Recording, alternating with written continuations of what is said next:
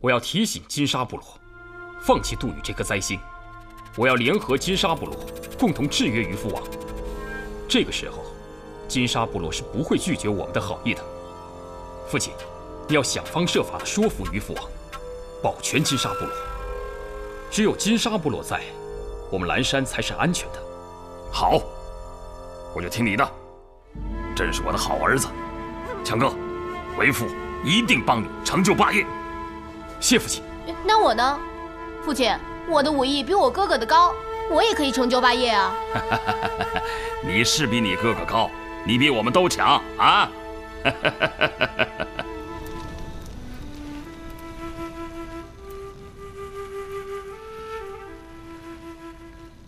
子期哥哥怎么样了？他守着黎伯的尸体，不肯离开。是我对不起大家。到底是谁杀了我父亲？我一定要找他报仇。妹妹，别难过，你放心，我们一定会找到凶手的。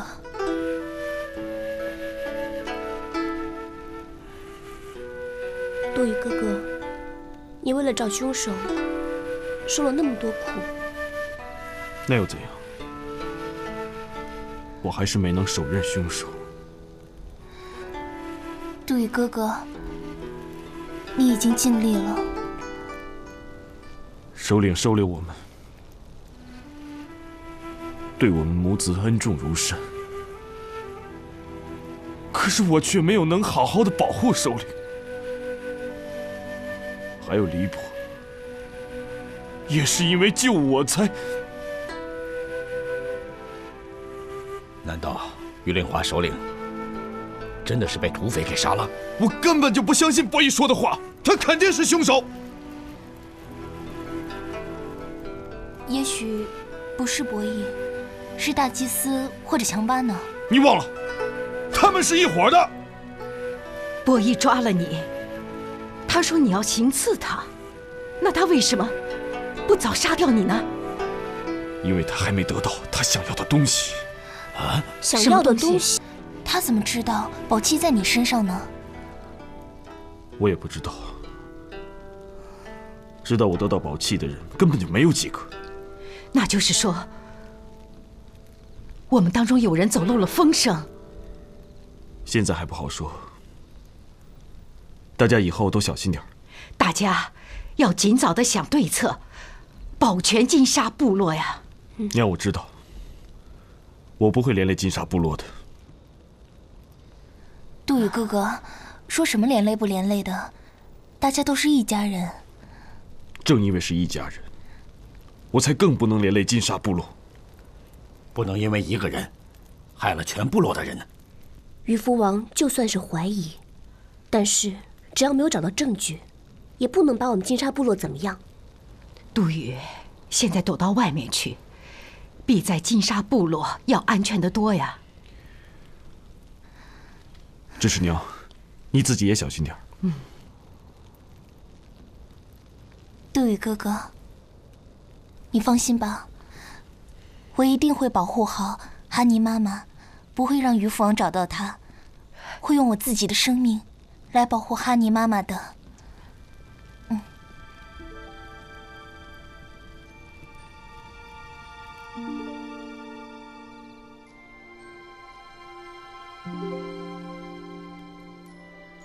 杜宇哥哥，你的伤口还疼不疼呀？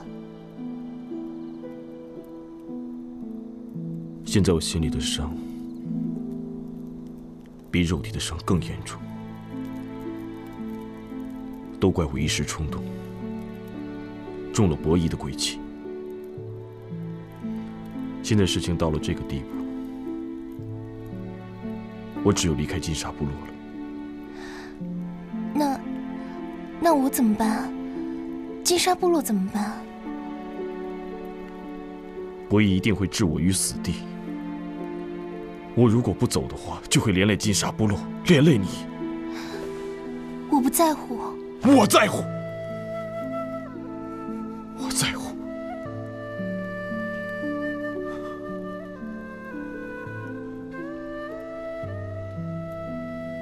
我现在终于明白。为什么首领忍辱负重的去给不义修王宫。原来他是为了我们，为了保存金沙部落。我们金沙部落现在确实没有能力与渔夫城为敌，再加上蓝山部落，我们金沙部落凶多吉少。我真的不知道该怎么办。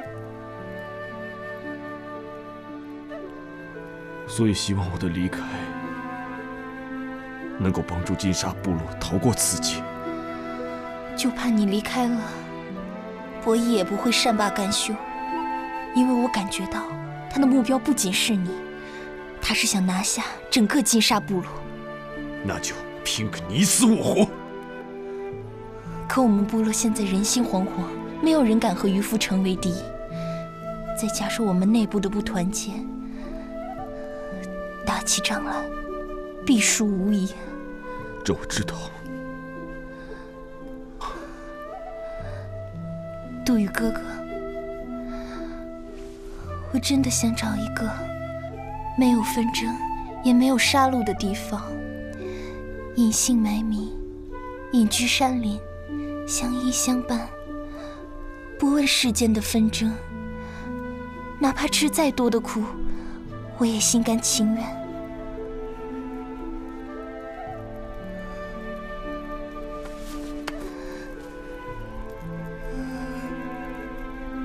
其实我也想，但是从我生下来就肩负着太多的责任，逃避不是办法。我知道你胸怀大志，我相信将来你一定会有所作为的。其实说句实话。真的不想有什么作为，我只想安安静静的和你过日子。可是现在有些人不让你安静的过日子，咱们只有奋起反抗，才能有自己的好日子。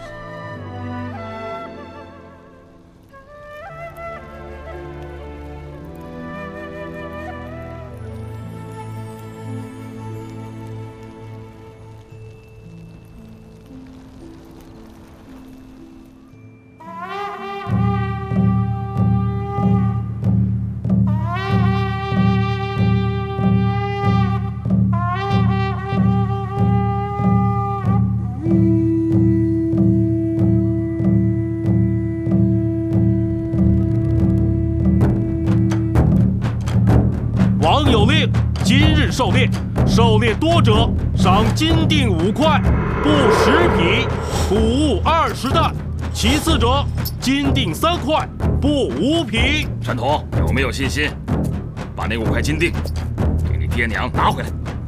我才不稀罕什么金锭呢，我就是想让渔父王知道我们蓝山部落女勇士的威风，让他也知道人外有人，山外有山。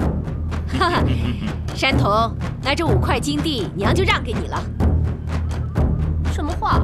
我未必就输给娘啊！这孩子，你就不能谦虚一点啊？看你的了。好，时辰已到。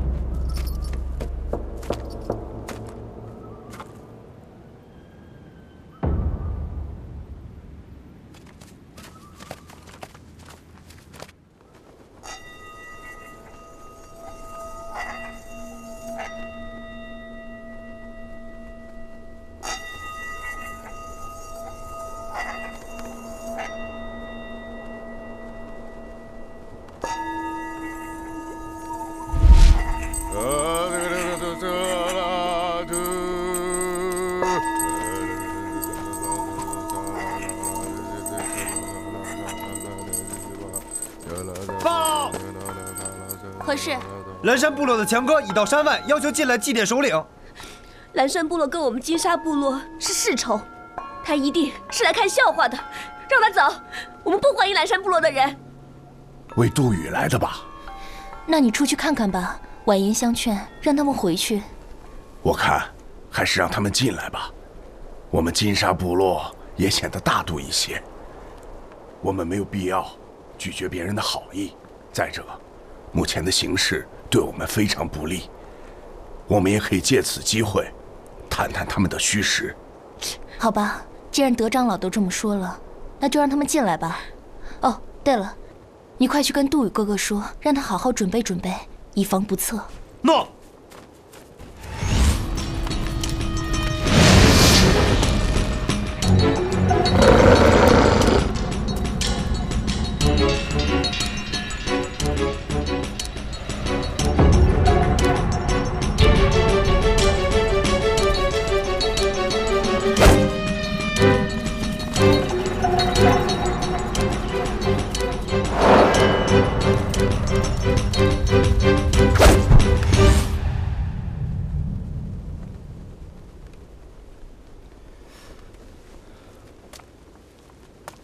强哥代表蓝山部落，特来拜祭于令华首领，望各位节哀。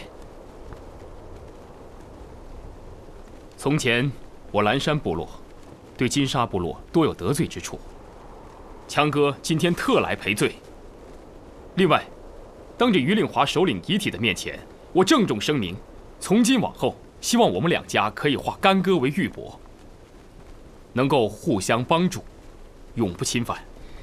希望你此次能言出必行，说到做到。另外，家父正在全力追拿凶手，如有消息，会立刻通知你们金沙部落。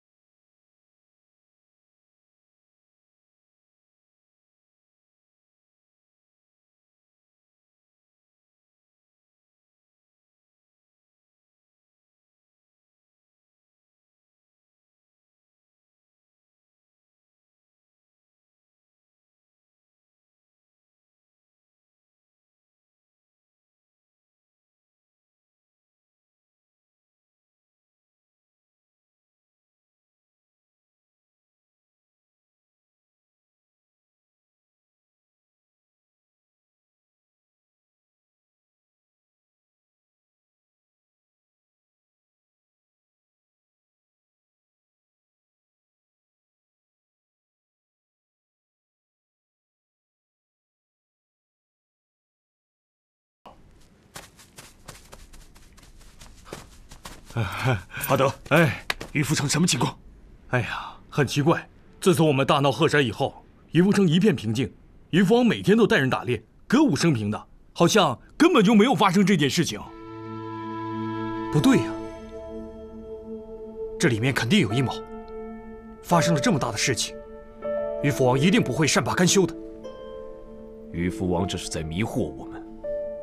如果我没猜错的话。他肯定在暗地里调兵遣将，告诉兄弟们严加戒备。嗯。报报，大祭司飞空奉玉父王之命前来吊唁首领金沙郡主，让我速来禀报。好热闹啊！今天该来的都来了，我要去看看。不行，你不能去，不能让任何人发现你在金沙部落。我知道。但是大祭司和强哥都来了，我总觉得有什么事要发生。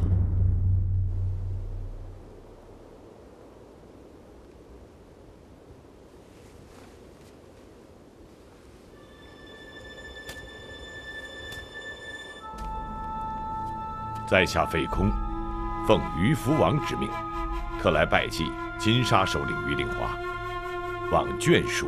节哀，谢谢。于令华对于福国忠心耿耿，任劳任怨，高风亮节，为人正直。可惜呀，天妒英才，金沙首领英年早逝，被贼人所害，实乃于福国一大损失啊！王食不甘味，夜不能寝，十分之痛心呐。凶手已经抓到了，拿上来。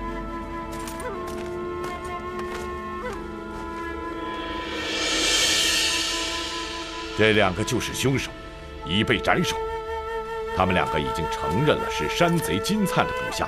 山贼金灿跟金沙首领有过节，为了抢夺财物，所以他们袭击了于令华，致使于令华首领伤重不治。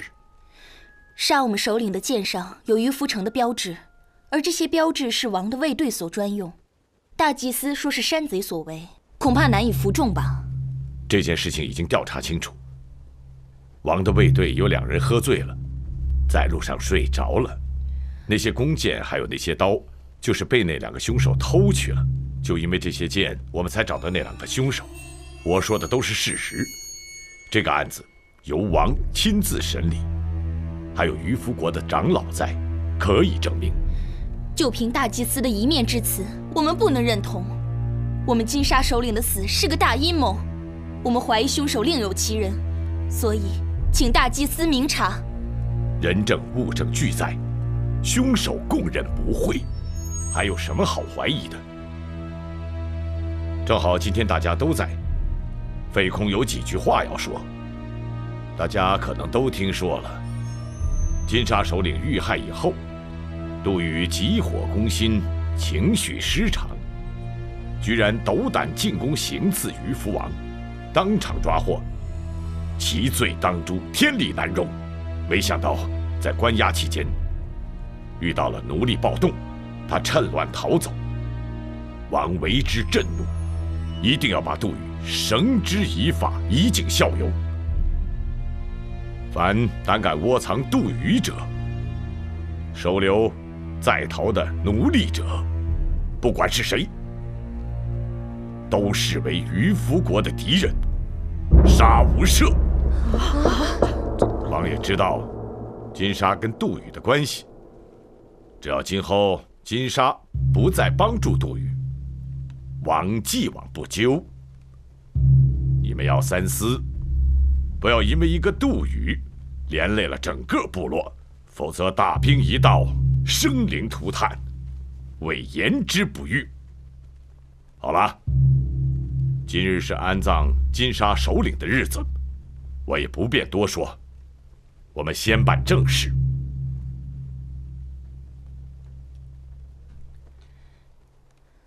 不要耽误了时辰。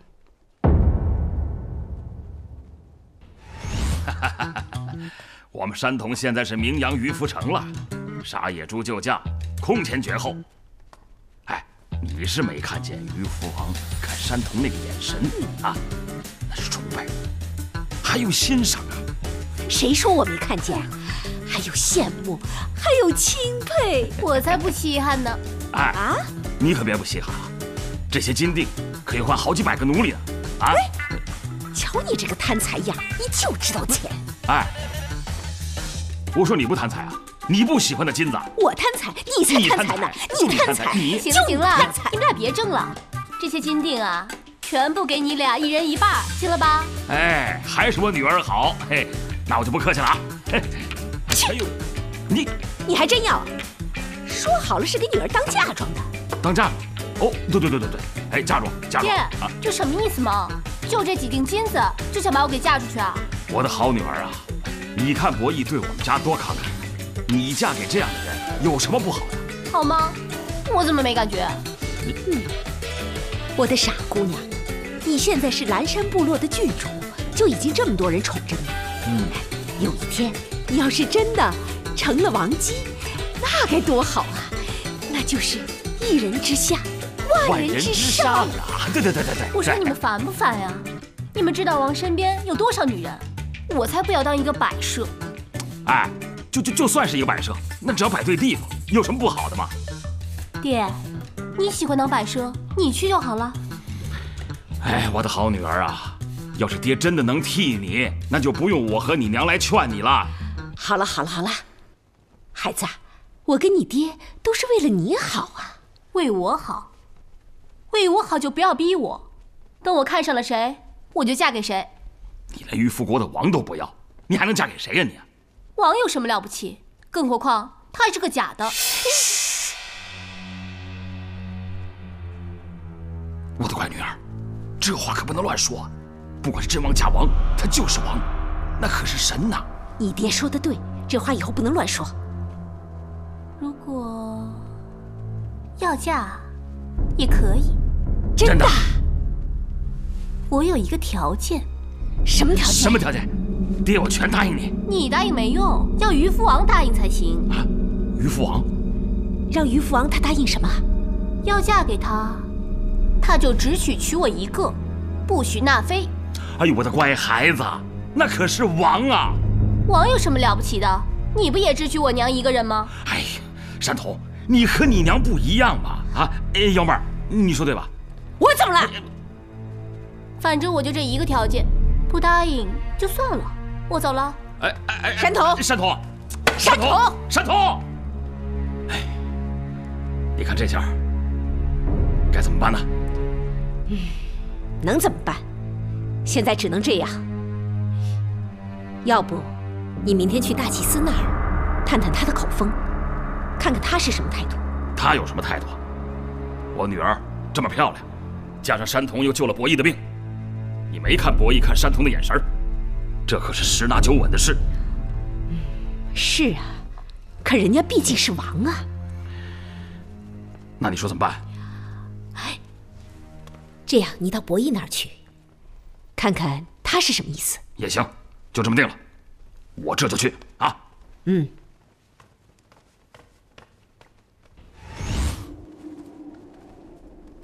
娘，儿子要走了。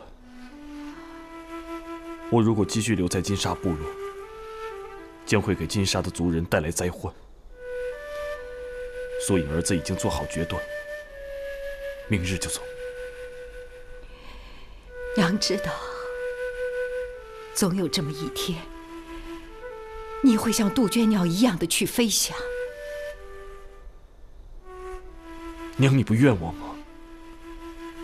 如果我走了，就没办法陪你，照顾你了。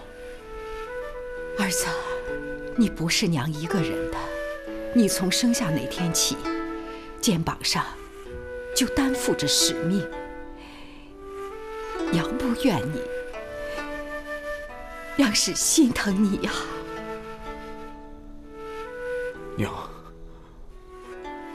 儿子不孝。好孩子，快起来，起来呀！你都多大了？你呀，就放心的走吧。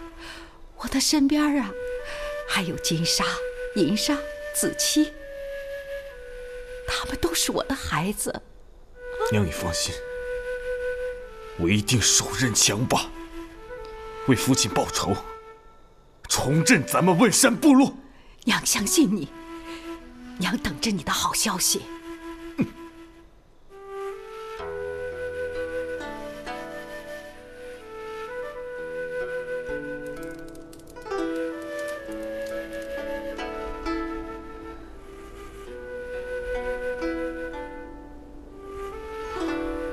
亮了，你也该回部落了。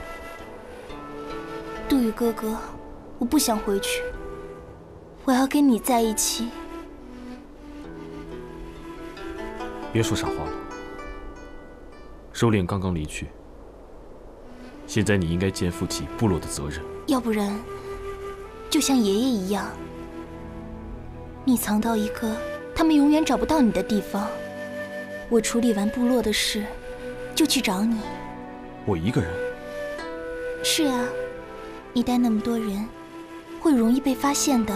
这些人需要我，我就像不会抛弃你一样，也不会抛弃他们的。可是，你带着这群奴隶怎么生活呀？他们不是奴隶，他们和咱们一样，有思想，有感情。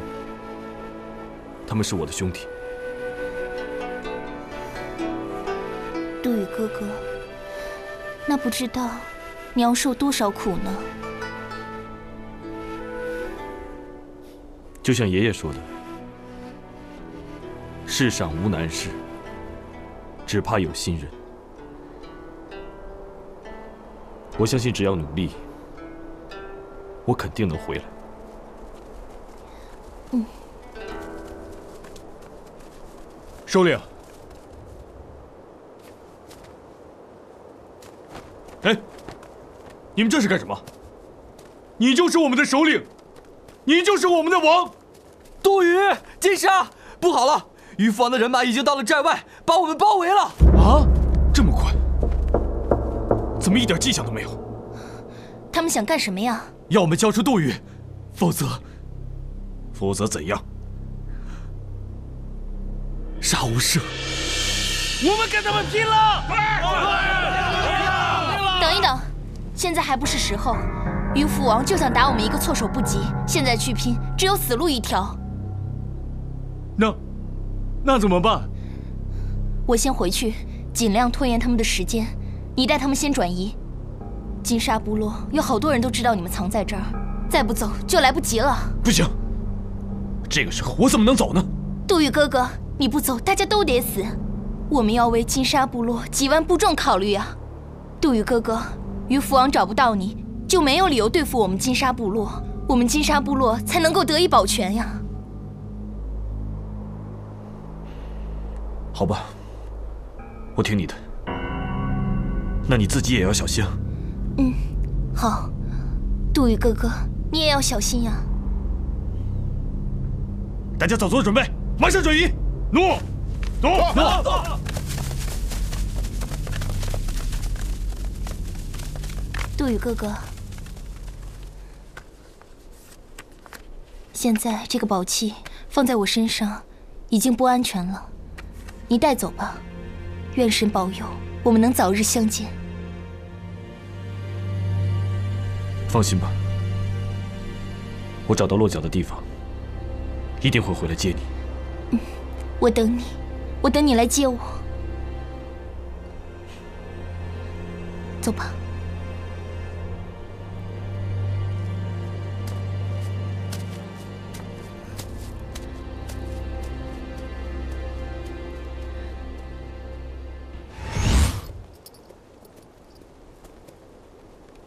王，杜宇应该已经不在金沙部落了吧？你有什么理由说杜宇不在金沙部落？再说，现在杜宇在不在金沙部落已经不重要了。王御驾亲征，就是为了一个小小的杜宇吗？这一次是要铲平金沙部落，免除后患。如果没有一个合适的理由就灭了金沙部落，恐怕难以服众啊。王以德治天下。应该赏罚分明，对金沙部落应该以宽容为主啊！哦，大长老，现在都谈起德治天下、奖罚分明了，真是不可思议呀！那你抢夺别人的部落的时候，好像没有想过这些事情吧？我我攻打各个部落，还不是受你的指使吗？我是叫你去找宝器，没有叫你赶尽杀绝。那是原来。强巴见识肤浅，不明事理。自从做了大长老之后，日益受王之熏陶，耳濡目染，自然明白了一些道理。那王今天再告诉你一个道理，叫杀鸡儆猴，斩草除根。如果当年你把杜宇除掉，还会有今天吗？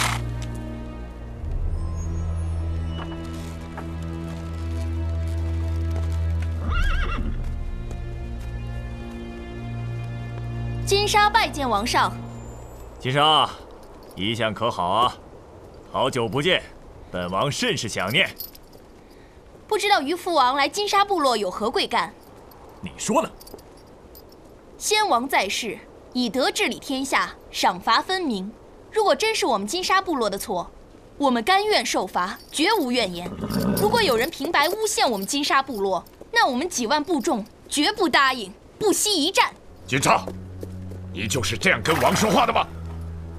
王，强巴觉得金沙说的有道理，只要金沙部落遵守王命，不收留杜宇和陶奴，王就应该以宽容为主，保全金沙部落。看来我们的大长老也会讲道理了啊！是王教诲的好。你没觉得他说的这些道理都是你以前教他的吗？王，如果不灭金沙，要给金沙部落一定的限制和制约，比如说，要金沙部落新的首领到渔夫国去当人质，所有的冶炼人员必须搬到渔夫国去。还有，每年粮食的一半要献给渔夫国，还有，更不许收留逃犯。本王从善如流，就答应你们的请求。金沙，你说呢？王的要求，金沙做不了主。等金沙回到部落之中，与各位长老商量完以后，再做定夺。娘，金沙，你怎么来了？娘，金沙。娘听说你要去于福城做人质，嗯，真的，你答应了。娘，恕女儿不孝，不能侍奉在你身边。娘，女儿不孝。娘，快起来！女儿不孝。娘，快起来啊，孩子，起来啊，孩子。你真傻，你是真不知道那博弈的狼子野心吗？娘，白夫人，金沙郡主深明大义，为整个部族愿意舍弃自己的自由，实在是令人敬佩呀。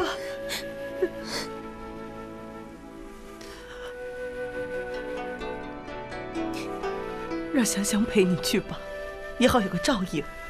让她跟着你，娘也好安心。金沙郡主，香香愿跟随你一起去渔夫城服侍你。香香，快起来！香香，谢谢你。此去路途非常危险，你还是留在这里照顾多多吧。金沙郡主，你们无私的救了我们那么多的乡亲邻里，不求回报。大家都感激你的大恩大德。如若你不让我侍奉你左右，我以及我的族人都不会答应的。那，那你弟弟怎么办呀？有你们金沙部落照顾他，我有什么不放心的呢？娘，女儿一定尽快回来侍奉娘亲。嗯，娘，等着你。嗯。祝王千秋繁荣，万代盛昌。好，来喝酒，来。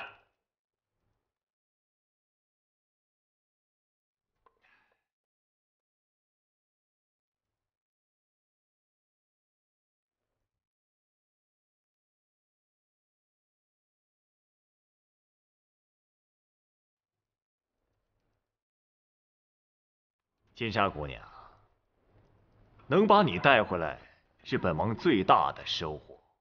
就是别人给我十个部落换你，本王都不会心动的。金沙姑娘，你知道吗？本王是看在你的面子上才放过金沙部落的。只要你答应做本王的王姬，本王答应你，从此以后绝不找金沙部落的麻烦。本王甚至可以考虑放杜宇一马。金沙部落已经答应跟杜宇断绝关系。从今以后，杜宇是杜宇，我是我。哦。王是否放杜宇一马，我不感兴趣。好啊，态度坚决，本王很是喜欢。那你是否愿意做本王的王姬呢？本王对你可是仰慕已久。现在金沙是渔夫城的人质，这个问题我不想考虑。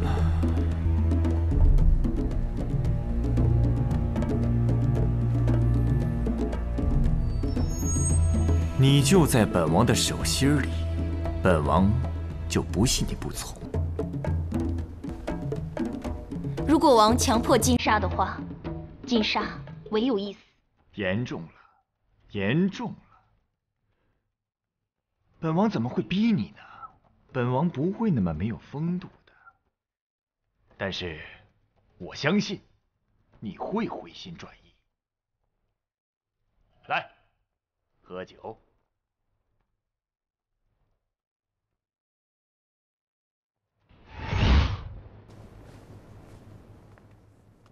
金沙，我就要回去了。我觉得，我也我也不知道跟你说些什么好。子期，我知道你要跟我说什么。你放心吧，我会好好照顾自己的。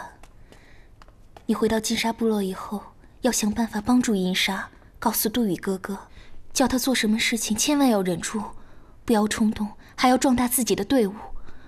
我会一直在这等着。等着杜宇哥哥来接我。我记下了，放心吧。子期哥哥，你回去以后，劳烦你多照顾照顾多多。放心吧，香香，我们金沙部落都会好好照顾他的。还有，你在这里可要把金沙照顾好啊！如果有什么事情，一定要传个话回来。嗯，子期，如果我等不到杜宇哥哥来接我，别胡说。不会的，不会的。我说的是万一，你就一定要陪在他的身边，帮助他把我忘了。不会有万一的，杜宇也不可能忘记你。要是谁敢欺负你，我就杀了他。金沙，你一定要好好的，一定要好好照顾自己。等我们接你出去之后，咱们还跟小时候一样，一起去打猎。一起去玩，答应我，金沙，答应我，我答应你。